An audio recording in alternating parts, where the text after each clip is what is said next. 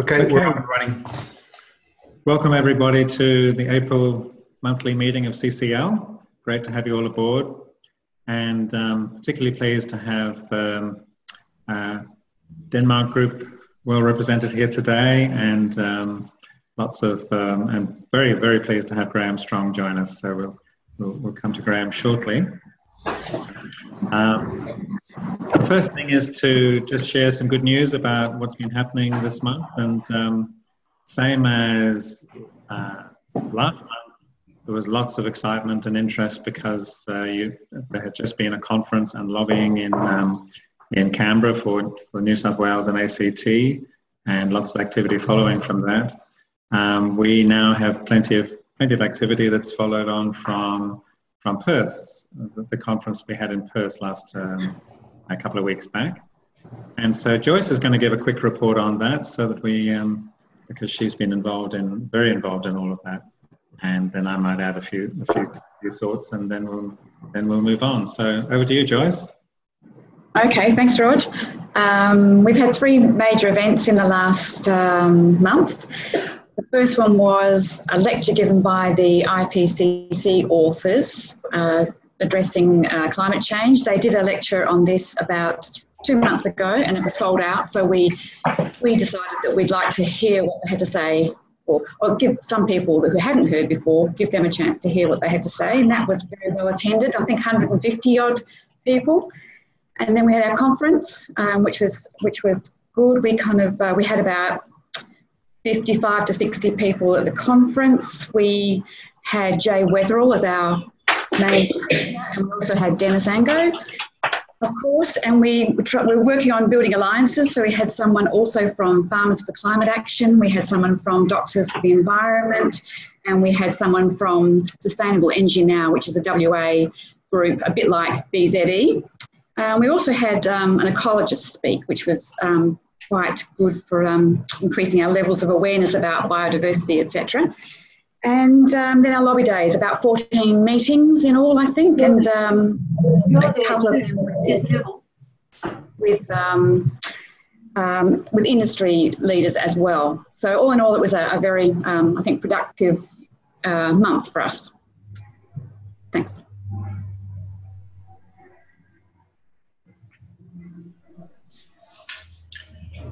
Rod, you're muted.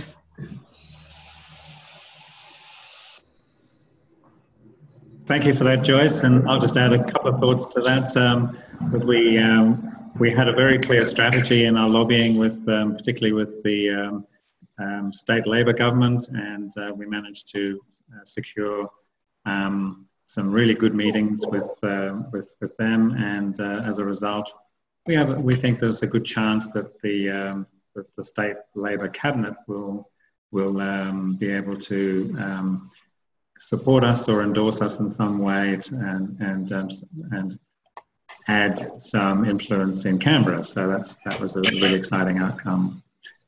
Uh, just that wanted to add that. Um, okay, so now, um, I'm now going to ask Peter to, to introduce Graham because Peter has um, met with Graham quite a bit over the, over the last week, and um, I look forward to hearing all of that. Thanks, Peter. Okay, I'm just introducing uh, Graham Strong. Uh, Graham is a uh, farmer in southern New South Wales in the Riverina area. He's uh, a sheep farmer. The area of farming and forestry, forestry related to climate change is incredibly important because it's two areas that, that can actually uh, remove carbon dioxide from the, from the atmosphere. Uh, so we'll be very interested in what uh, Graham's got to say.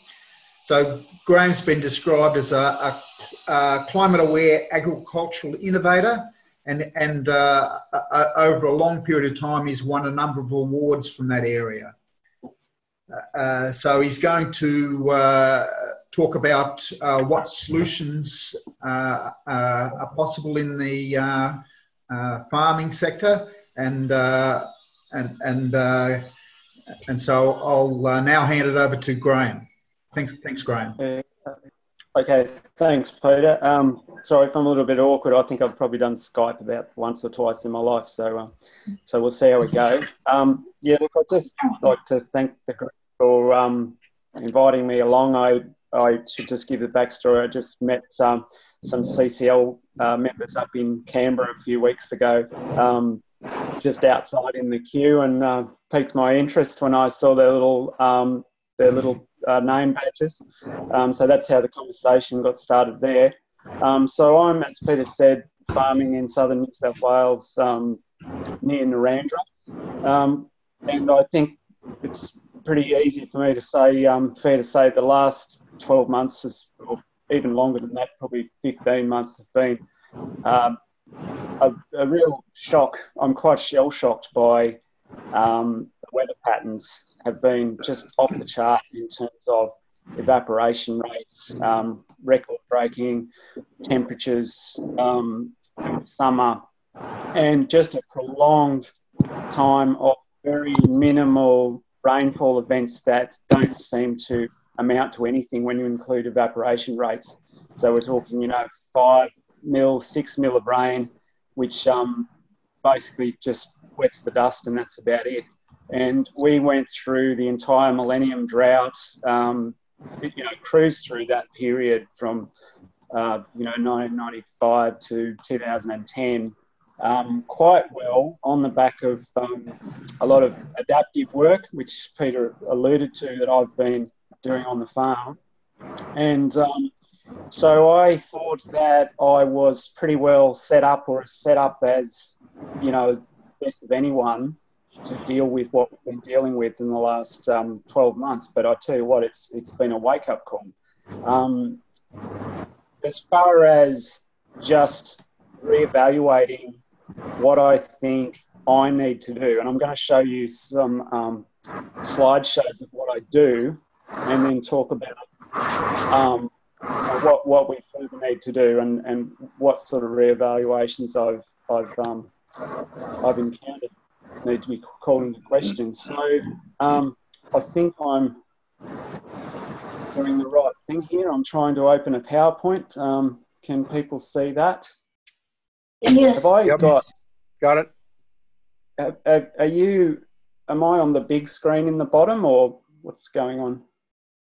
I don't know. I'll just play. So is that filling people's screens and then? No, we can. Yeah. That's perfect. Okay, so you've got, okay, Can I so just ask, the, before you proceed, Graham, quite a few people still have. Uh, hang on, not hearing any audio. Can we, can we have other people muting, please? Because there's quite a, quite a lot of background noise that's interrupting. Okay. Okay, is everyone okay? Okay, um, um, I'll just start with these slides and just talk through them if that's okay. Um, now, these are just some pictures I just opened with of some of the country around me. Now, when you're looking at some of this stuff, um, it's important not to get um, you know management practices or you know arguably mismanagement practices confused with drought um, because the media gets that pretty confused all the time. Um, so I just want to show you some sort of contrasting examples of that that really mix practice with the reality of, of what has been a shocking season, um, just to show you how entangled they become and how it's, it's not a binary, simple, um, straightforward story. So, this is probably some of the worst examples of uh, poor management combined with um, you know, shocking drought, low rainfall, climate change um, types of events. And so, this, this could have been, you know, this is probably the worst. Worst. You can see the kangaroo tracks along there um, and I'll show you some. Okay, so this is across, well, not across the road from that. This is across the road. There's one um, uh, paddock across the road from each other. I'll just play a short video which um, shows that. Is everyone hearing that?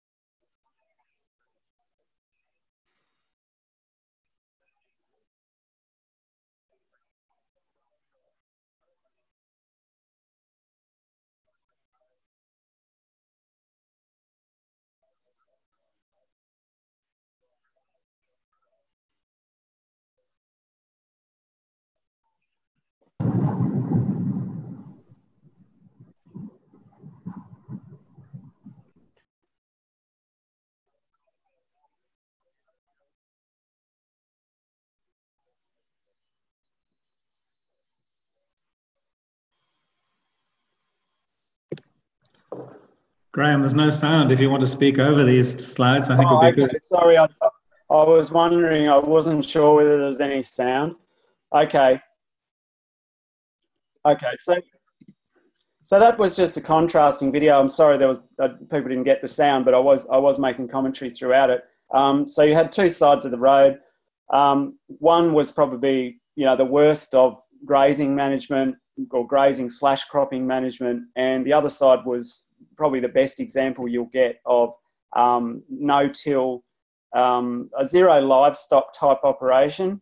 But the, there are problems with that system too, being high, uh, high energy use. Uh, it's got its own high carbon footprint for other reasons, from nitrogenous fertilizers and diesel use, and you know just a sheer volume of chemicals. Um, so it can become a biological desert in other ways, um, whereas the other place um, may not have had the inputs, but it's certainly, um, you know, it's got biodiversity loss and it's got soil erosion.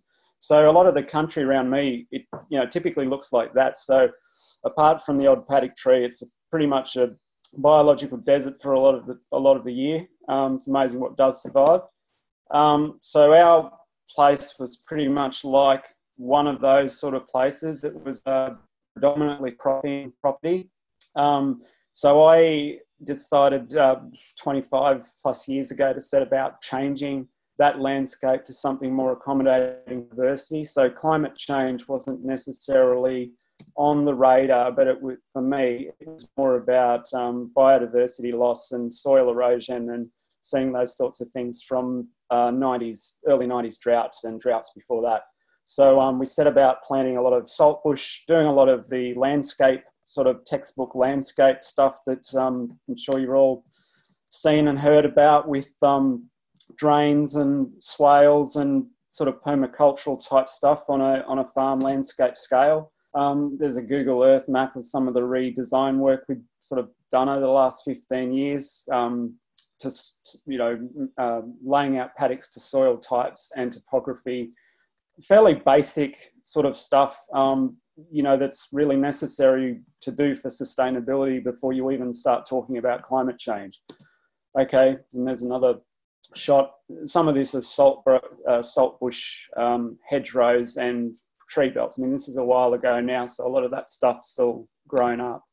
Um, so here's a before and after shot of the type of landscape. So that's the same spot there. So you can see it's quite dramatic what we've done to the place. We've planted about 3 million trees. Um, it's about 500 acres of saltbush. The property is about 4,500 acres. Um, so we're going from a system like this, which arguably does retain carbon on the ground and has some carbon positive benefits, but zero till on the whole does not accrue carbon. Um, there's been research to show that it's very, at, at best, it will baseline carbon levels in soils, but because of the, um, and I, that's not even if you include the carbon footprint of the inputs like nitrogenous fertilizers and diesel. So, admittedly, that system, the positives are that it is highly efficient um, under its own terms, but if we want to actually um, draw down carbon, then we must go a lot further than simply no till. Um, so that's just, I guess, how I've changed the country more to a, a um, minimal cropping intensity, uh, predominantly grazing type operation. So it's a little bit more accommodating to um, tree planting, diverse pastures, perennial pastures, because if you want to get carbon in soil, you need deep rooted perennial pastures, particularly um, grasses called C4 grasses, um, which I'll go into later on. They're a type of perennial grass which has a specific photosynthetic um, pathway that is able to store more carbon molecules in its in its structure, but it also um, it's more tolerant of extreme heat and drought. So we need to be looking at C4 grasses and any science, agri- agriculture science, um, eh, you know, needs to look at deep-rooted perennials, particularly C4 grasses. Okay, so you know, this is the typical landscape in a reasonable sort of year. Um, biodiversity is still a big thing for us in terms of our what we're aiming to do. Um, so we don't, you know, we keep all our paddock trees. We're not about knocking them over or anything, which unfortunately zero till tends to like to push out a lot of paddock trees and offset them with younger trees, which I've got a problem with. Um, you can't replace three or four hundred year old trees, and superb parrots and squirrel gliders and things will tell you that also. Um, so just moving through, so you can see the landscape change. Um, some promising, I guess, things about salt bush, uh, old man's bush, and perennial shrubs as a basis for livestock production is many of them have been shown to uh, significantly reduce the methane uh, production or methane byproduct of fermentation in the gut of ruminants. So, a particular, a particular species from Western Australia called Eremophila glabra has shown to, I think it's like 99%, you know, reduces the methane. Um, but salt, salt bush will do that as well. Um, I don't know if they're actually sh- sure why, but um, that's what their research um, showed. Um, also on the horizon on that topic is, um, I'm sure if you all saw Four Corners the other week, is this um, type of seaweed that they've um, been researching that will, um, I think it's just about completely eliminates the methane production in ruminants. So, so there's some positive um, developments, I guess, in agriculture. Um, I know this week, you know, we've seen some people don't believe in that animals production should have any part in agriculture at all. But if you understand how agriculture works, they're pretty integral to making uh, the whole agroeconomy work properly. Um, and I, I'm able to say that from landscape outcome, biodiversity outcome, they're pretty essential to um, to the landscape. The problem with livestock can get into is obviously overstocking and all those sorts of things, but they're really functions of management, not of the animal themselves.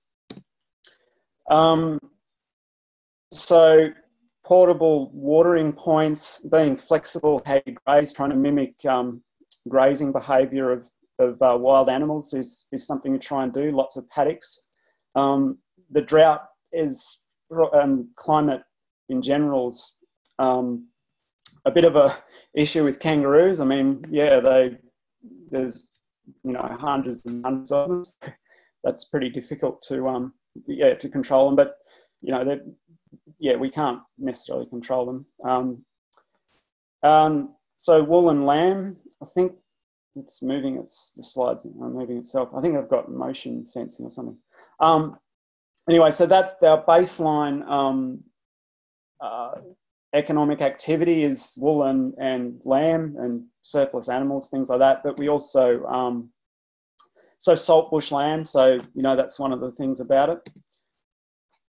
Um, but we also, we also have um, uh, cropping. Uh, we do a bit of cropping, but we, we do it in a way called pasture cropping, which is a very, it's a low input, uh, minimal energy uh, type cropping system where you don't you don't kill the existing pasture before you sow your crop. So you leave your perennials in the paddock and you sow your crop with with the C4 perennial grasses ideally and let the crop and the perennial grasses grow together. The crop being an annual winter dominant um, crop will grow while the grasses remain dormant and then you harvest the crop and then your perennials grow up through the crop residue. So what you're what you're trying to do is maintain a um, 100% ground cover all the time, and you're trying to uh, use the old root channels of the perennial pasture for the annuals to to go down and find moisture. So you've got a sort of a, an agroecology or a symbiosis of plants going on and you're maintaining soil moisture and biology in the system all the time. So pasture cropping is um, one of those things, and it's highly compatible with livestock production because um, you you don't the crop doesn't owe you a high yield because you haven't um, put a lot of inputs. Although some pasture croppers claim they are getting uh, you know 80% of, of of the industrial farming's yield. So so it's it's got a lot of potential again needs a lot of focused research from a comprehensive national climate change policy, policy perspective. That's one of the things groups like Farmers for Climate Action are arguing for, um, so that targeted research meets um, meets areas where it's it's best placed to deliver a, a, an outcome. So pasture cropping is one of those.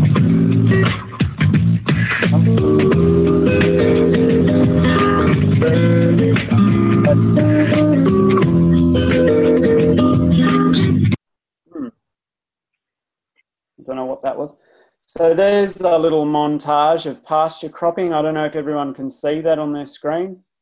Maybe someone can unmute themselves and just tell me um, how I'm going. um, Pictures are anyway, great. uh, yeah, I hope you can see that on your screen. Um, so We you've got in that. there, It's good. yeah, you've got in there a mixture of um, of different crop species. So there's about um, five different, like there's barley, lupins, um, a couple of different types of wheats, and you're growing it all in a polyculture with the perennial grass um, underneath there. It remains dormant. You're not killing anything. No herbicides. Um, yeah, so it's pretty, pretty uh, biodiversity friendly sort of practice. Now, now I just want to talk about. I've I've, I've listed some of the, I guess, uh, landscape adaptations um, and things you can do on the farm perspective to reduce your carbon footprint, um, uh, restore biodiversity, address soil erosion, all those sorts of things, which incidentally were and still are massive issues before climate change became, um, you know, on everyone's radar. I mean, we still had these problems of biodiversity loss and soil erosion, and and they're very much interlinked, which is again one of the reasons why we need a national strategy for agriculture is to get.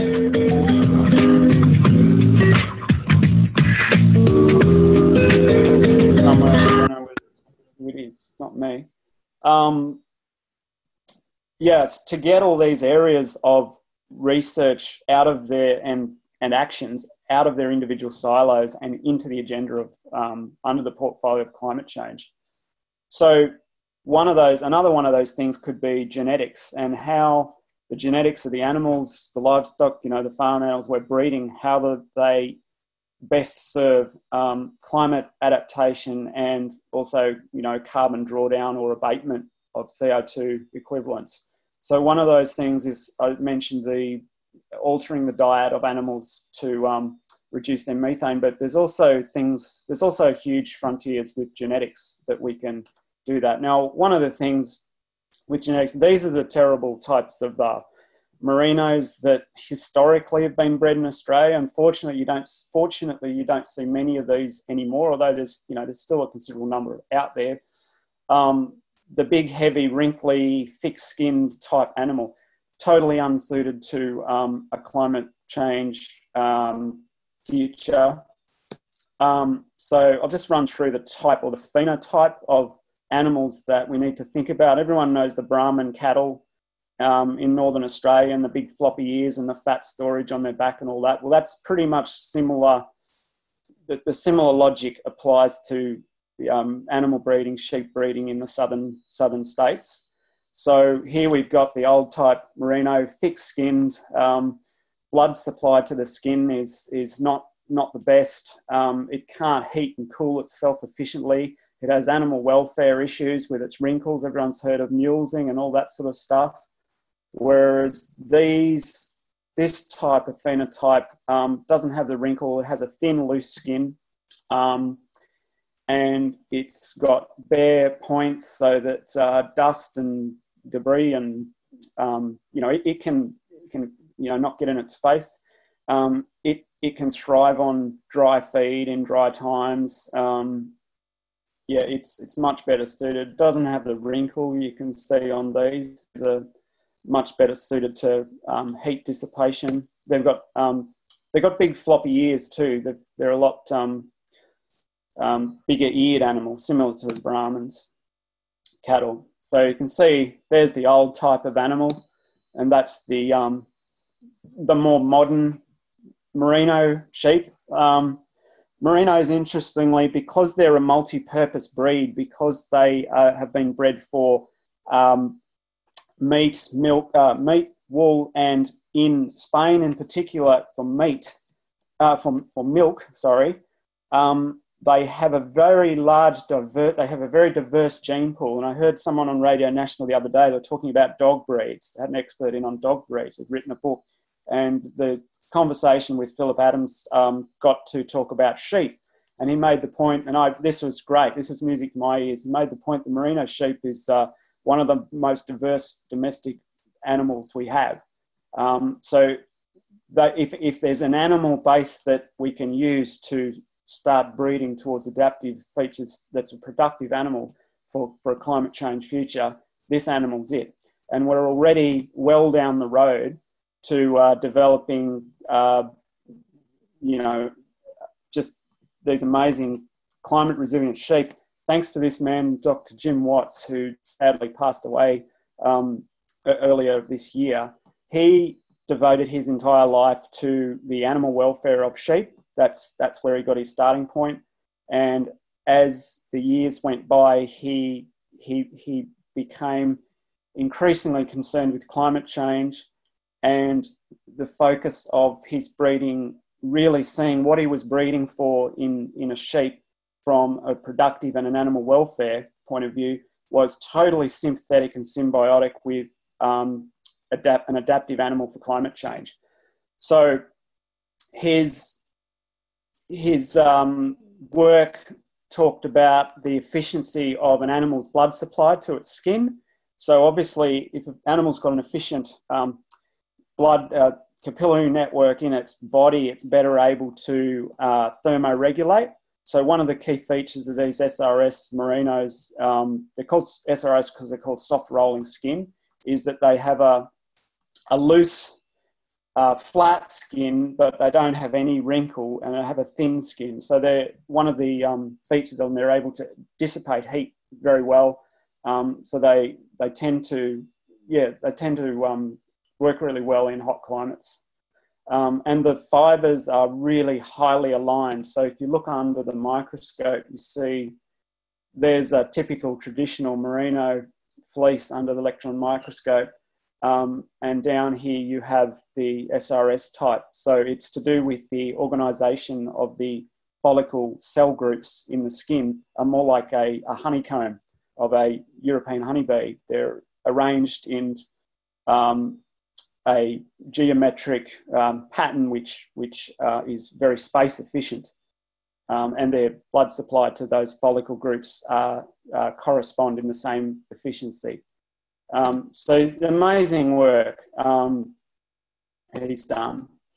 And to try and keep track of all this genetics, we use um, you know, electronic ID systems that a lot of, probably about 10, 15, maybe 20% of livestock produced in Australia moving to, certainly Victoria.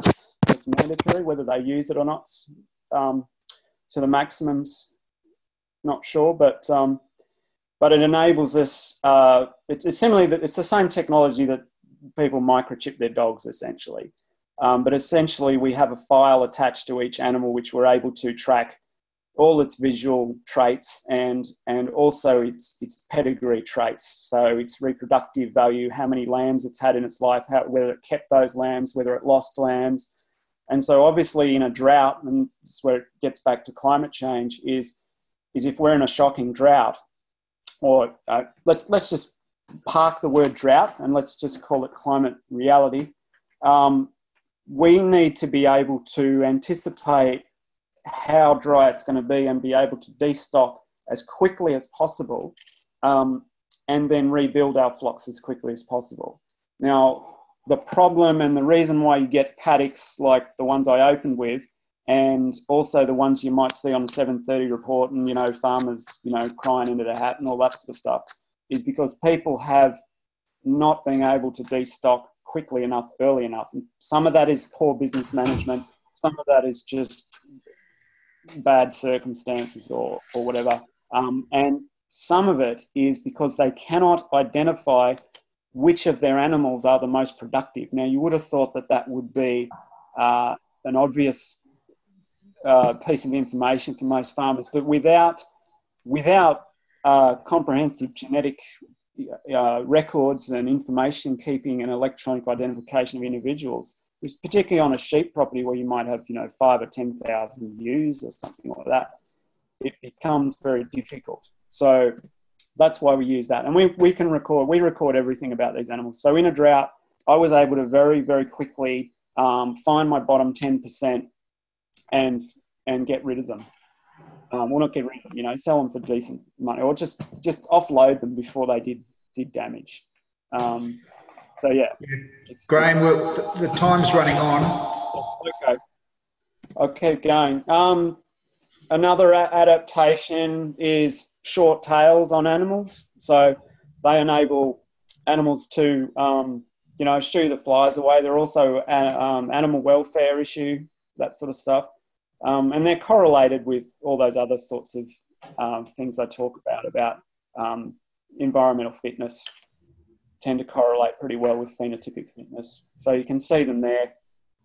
Um, just quickly go through those. Pretty robust sort of animals. Um, you can see a bit of a contrast there between the two types. Um, just with at the end now, so here's a little parting shot with, um, you can see how, I guess, uniform those sheep look. They're very robust. They, they just look like they really want to survive.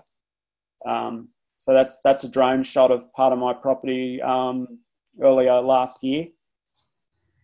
Yeah, don't have as much grass as that anymore. Um, yeah, but uh, anyway, this this video is just very short and just some of the tree planting there I've done over the years and incorporated old old growth trees wherever I try and plant trees. Um, that's a little electric vehicle.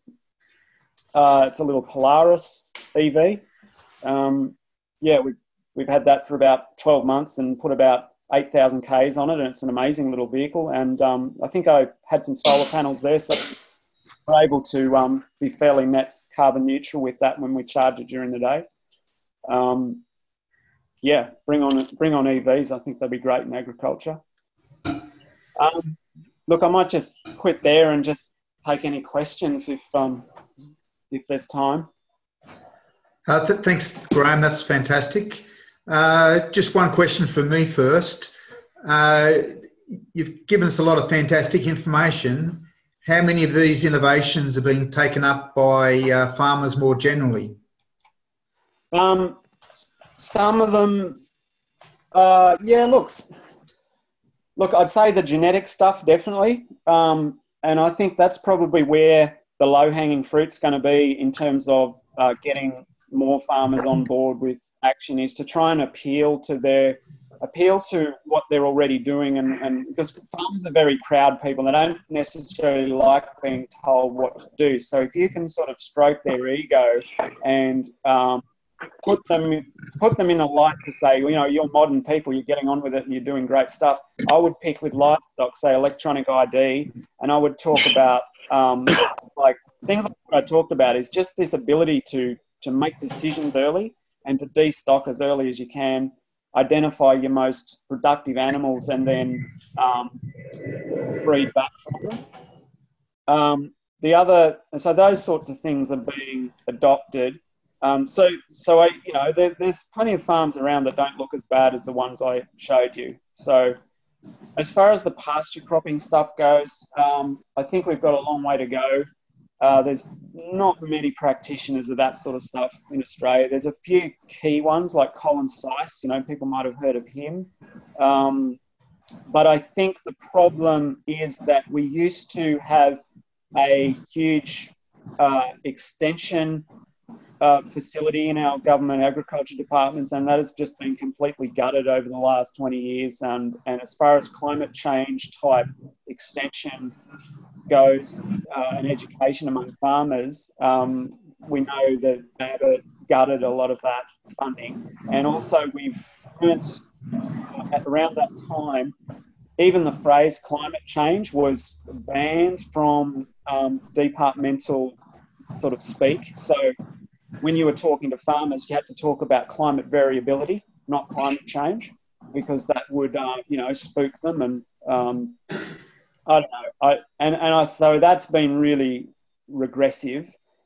Um, so I think I'm hoping after May that we'll, based on the hopeful outcome of the election, that we can see a turnaround in that and start getting some of this extension and information back to farmers. Because I think the problem with farmers is um, they people often say, well, they they well they are overrepresented amongst climate denialists and farmers for climate action. This is why that group, um, I guess, started is because they saw this as a problem. They saw that there were there were there was a good group of farmers who were very um, understanding of climate science, very accepting, and then there was a whole lot that were overrepresented. And I think, well, why is that going on? And we think that it's not just about the psychology of, of farming and the scariness of climate change and its impacts for agriculture. It's because of an active pulling of, of education away from farmers. They're just not, and also the, the negative um, influence of even some elements of agribusiness, unfortunately, are not really taking climate change as seriously as we should, or there's private consultants out there who actively are climate denialists, unfortunately. Who I, I get, and I think the problem there is because um, if you've got uh, inconvenient news or bad news, then there's going to be a market for good news, isn't there? And unfortunately, people pay for charlatans to um, make them feel good. So if someone comes in and say, "Oh no, you haven't got a problem. It's just natural variation," and here, you know, take this stuff and use this stuff out of a bag and spray it on your crop, you'll be right. You know. Um, so there's a little bit of that. Um, anyway, I know, I know that doesn't sound very hopeful, but um, I'm just trying to give an accurate appraisal of the political forces are very much um, of climate denialism. Unfortunately, haven't gone away. I guess is what I'm saying. Okay. Any other questions from the uh, the, the groups?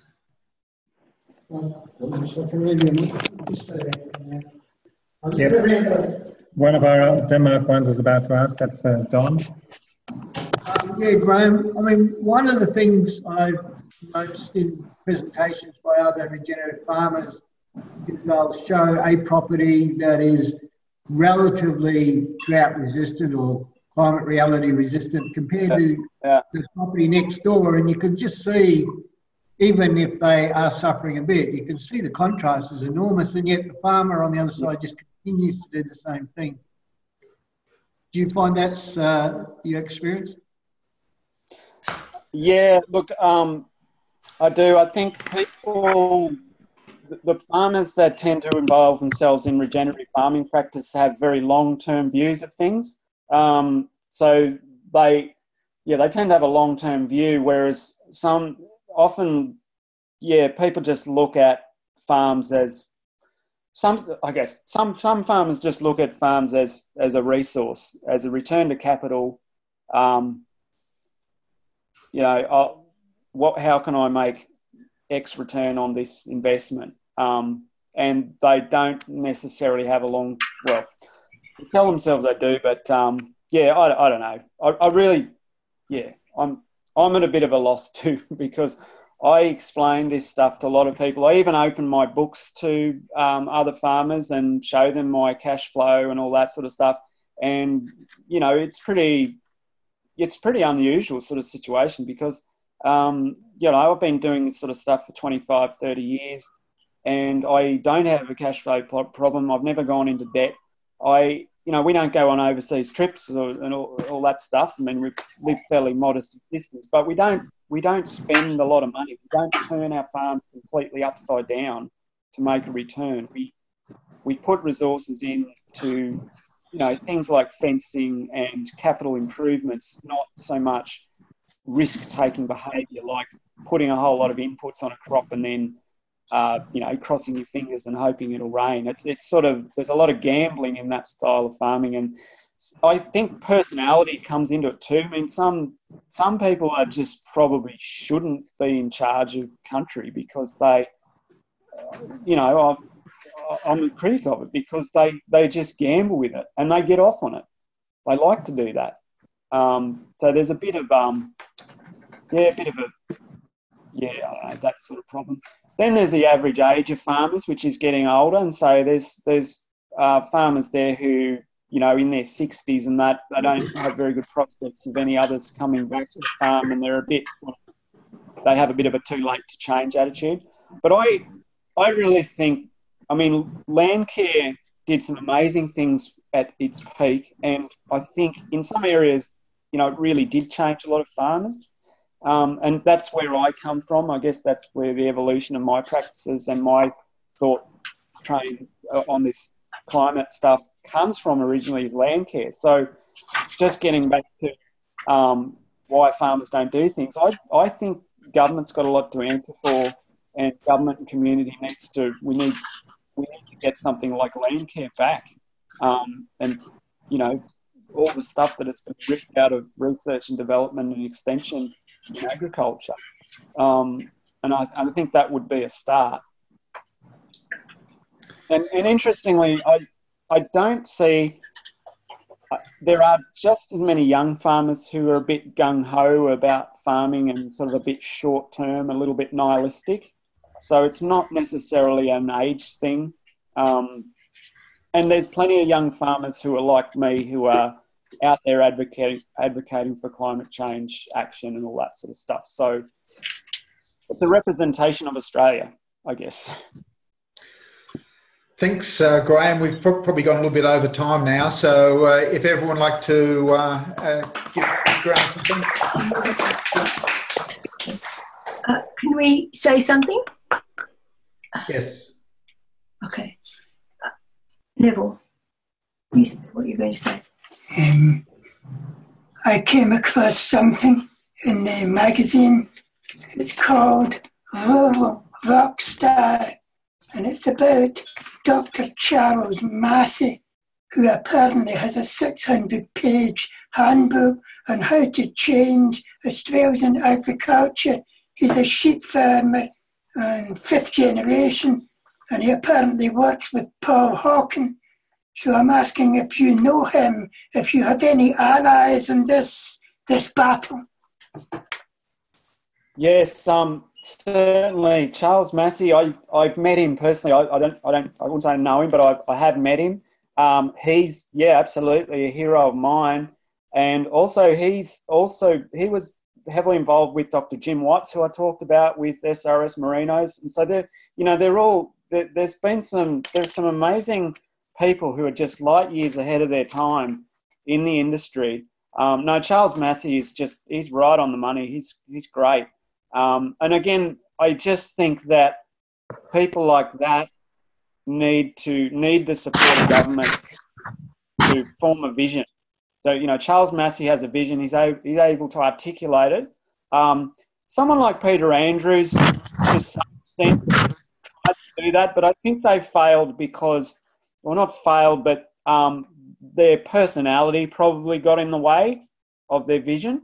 Um, whereas someone like Charles Massy is really able to carry that vision um, through, I think, and would be he, he would appeal to so many more people if if I think the message could get out about him.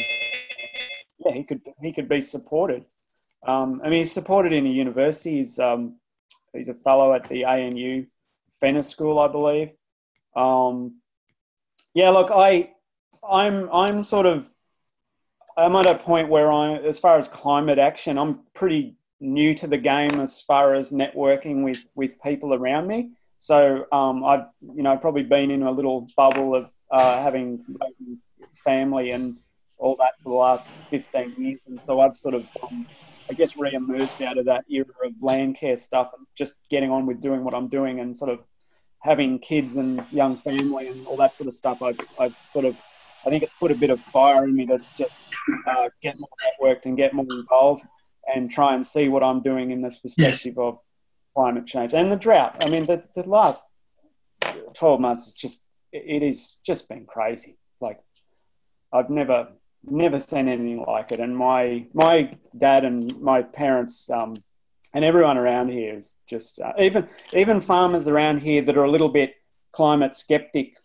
or you know won't won't talk about climate change. Uh, there's a sort of a deafening. There's a bit of a awkwardness. They they know that this is game on. They know that something very very strange is happening, and everyone knows it's the elephant in the room. All that. Um, so we just need some leadership from government. We need all the things that you're asking for. Uh, Don, you wanted to say something? Uh, yeah, just very quickly for us urbanites, is there really any kind of quick advice you have for things that uh, urban people can do to help uh, promote your message? What sorts of things seem to have been effective, if anything, on that front?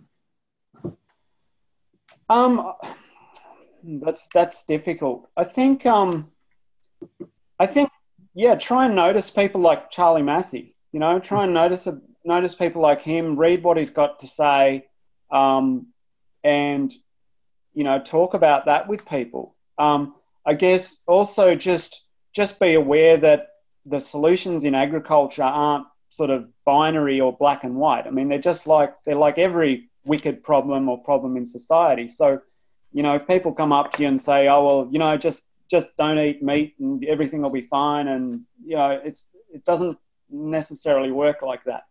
Um, and I mean, every, everyone here is smart enough to know that, but a lot of people who don't know anything about agriculture or complex systems will kind of run with that and just, oh yeah, we'll just, you know, we'll just get rid of all the cattle and that'll solve the problem. Well, you know, it's a hard ship to turn around. Um, I think the main thing is just everyone is just just stick um, stick it to coal. You know, I think and Farmers for Climate Action. That's why I sort of uh, attracted to them because they they had a, sing, a focus of shutting down coal uh, and not and education and adaptation and all the things I'm talking about as well. They've run uh, workshops around the country, and there was one near me down in Beechworth and all that sort of stuff to help educate people about climate change and adaptation. But but they also, you know, are saying, look, we've got to stop coal because if we can't if we can't solve the easy stuff, then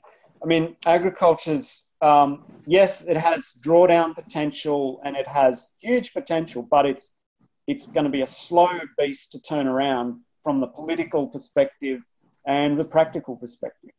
Um, so maybe maybe carbon, you know, carbon pricing and some kind of way, some incentive for farmers to at least secure baseline carbon in their soil is, you know, if they want to call it a subsidy, I mean, we don't get the subsidies like uh, our competitors in the OECD do. So I don't see, um, I think that this, yeah, we missed an opportunity 10 years ago with the carbon pollution scheme and, and involving agriculture.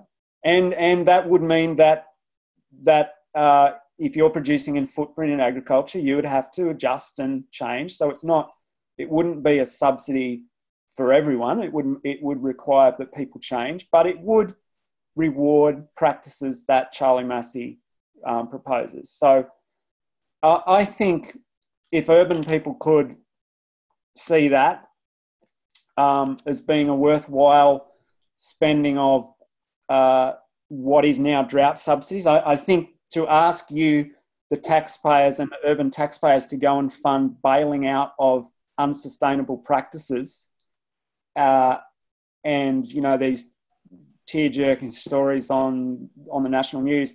I think that is very short term, and I think that is it's it's there's no pride for the farmers either. I mean, they're not they don't you know they don't necessarily like that kind of handout stuff, and and I think that's really wrong-headed. And I you know, and it's I don't I don't even believe this sort of uh, donations of hay and fodder are particularly helpful if they keep propping up unsustainable practices. Um, yeah. The, thank you. I think we need okay. to stop. Fantastic. But, uh, thank you for that answer, and thank you for all the wonderful information you've given, but also Thanks, particularly the ways in which we can support uh, farmers and for climate action. And uh, you mentioned uh, the um, the national strategy for climate climate aware agriculture. Is is that what it's called?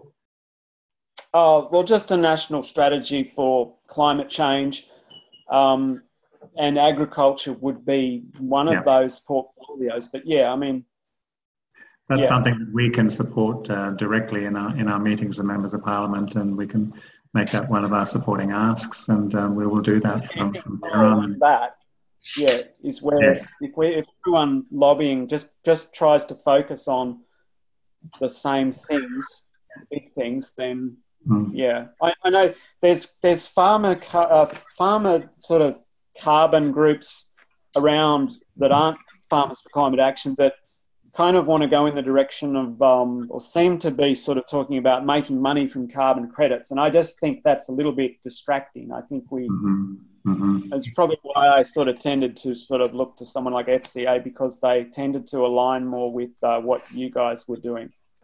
That's true. We're very, very happy with our alliance and we'll continue to, to foster that. And um, thank you, Graham, for what you contributed to that today. And um, Oh, thanks, Rod. wonderful to have you aboard. And feel free to stay on for the next five minutes if you wish, well, when we talk about our monthly actions. But um, feel free to go if you Oh, want. yeah. If you. Well, Okay, yeah. Thank you. Thank you, Graham. Well, we learned a heap of heap of very very important stuff there, and I just want to notice point out that um, when we had our the launch of the uh, Parliamentary Friends of Climate Action last month in in um, in um, Canberra, Verity Morgan Schmidt from from FCA was was one of the one of the um, people there, and I think you were there too, Graham. So, or at least a couple of other of your members were there. So. Um, we have a, a very public uh, alliance in, in, in that setting, which was really good. I'm just going to share my screen briefly to, to, to show you um, some suggested monthly actions that, uh, that we can uh, uh, we can engage in over the next um, the next month, particularly over the election period. I'm pressing share, and here it comes.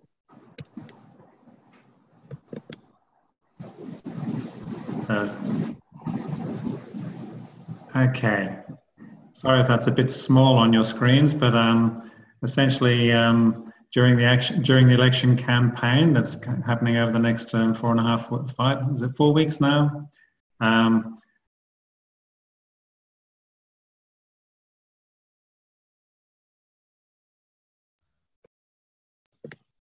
um, um, okay. If possible, um, support for Farmers for Climate Action's call for a national strategy on on climate change and agriculture, and um, you can look that up on the website. Uh, the, the Farmers for Climate Action um, website has has information about that strategy, and it's I think it's an important thing that we can support.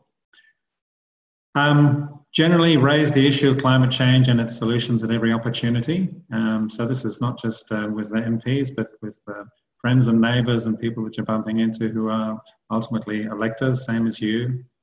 Um, feel free to talk up the Australian Climate Dividend Plan because that's a, a very, very positive and, and um, um, um, yeah, climate, a very, a very positive and um, carbon pricing initiative. And also, don't forget to talk about um, Canada's fee and dividend legislation and the fact that Canadians are getting their first dividend this month, um, um, some of them, and that's a really exciting development.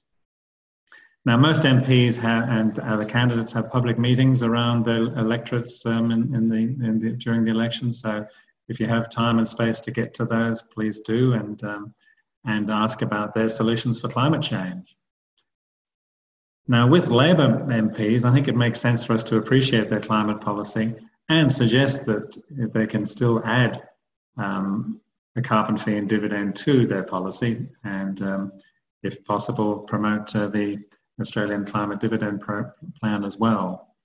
And uh, that will also to when we're meeting with coalition MPs to to encourage them to consider joining Parliamentary Friends of Climate Action, and if they're not able to, at least ask them, you know, who who who else they could recommend from their side of politics to join Parliamentary Friends. And of course, write letters to the editor about about climate and the election and our solution. Um, this is a great opportunity. There's lots. There's going to be lots of um, lots of stuff in, in the newspapers over the next few weeks. So there's our chance to join in. So um, this, I'll email the link to this uh, to this action sheet to everybody, and it'll it'll be um, linked to the, the the recording of this video, which will be going out to to our members over the next few days. So back to you, Peter. Um, Um, oh no, it's just basically me, me, to wrap up now. So thank you everybody for for for joining the call, and um, we look forward to seeing you in a month's time, um, and um, look forward to hearing all all the um, the, the, actions that's been uh, taken over the over the election month. Thanks again to Graham. It was wonderful to have you aboard, and um, looking forward to seeing you next month. Thank you. please unmute Peter so that people can say their goodbyes. Goodbye to everybody. Thanks, everyone. Thanks, everyone. Thank you. Thank you. Thank you. We'll see you next month. Lovely to see you all. I'll see you all too. Bye. Bye. Bye. Bye. Thanks again, Graham. That was a really powerful, powerful um, sharing of your experience. Turn yourself off now. You can turn yourself off now. Leave meeting here. Thank you. Bye. Yeah, that's right. Leave end meeting.